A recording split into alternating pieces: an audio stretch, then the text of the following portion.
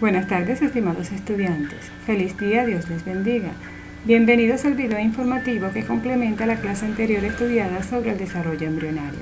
En esta ocasión vamos a estudiar los trimestres del desarrollo embrionario en el ser humano. El desarrollo embrionario es el periodo que se produce entre la fecundación y el parto.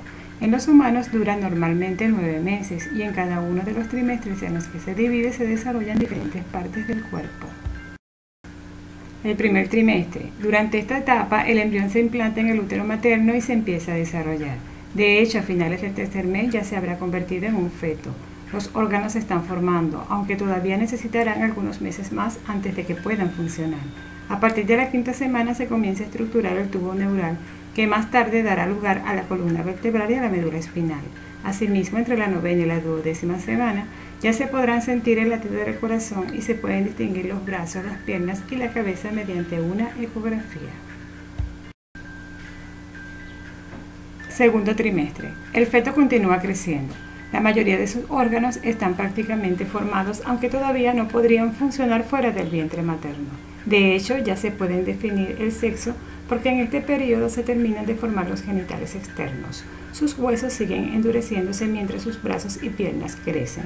En estas semanas el páncreas comienza a producir insulina, el hígado empieza a segregar diferentes enzimas que son esenciales para descomponer la bilirrubina y su piel se cubre de lanugo y demis. Las áreas del cerebro especializadas en los sentidos también se empiezan a activar, de manera que el bebé es capaz de escuchar los sonidos que provienen del exterior. Tercer trimestre. El bebé continúa ganando peso aunque ya está prácticamente formado. De hecho, podría sobrevivir fuera del vientre materno aunque sus órganos aún están débiles.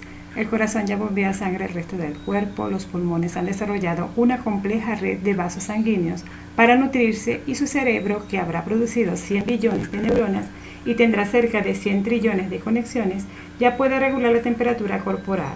Los nervios y sentidos del bebé también están desarrollados casi completamente, por lo que es capaz de percibir con mayor claridad los estímulos del medio. De hecho, a partir de la semana 36, el bebé puede llegar en cualquier momento, por lo que durante las últimas semanas es probable que vaya colocando la cabeza sobre la pelvis, esperando el momento para nacer. Muchas gracias por su atención. Feliz día.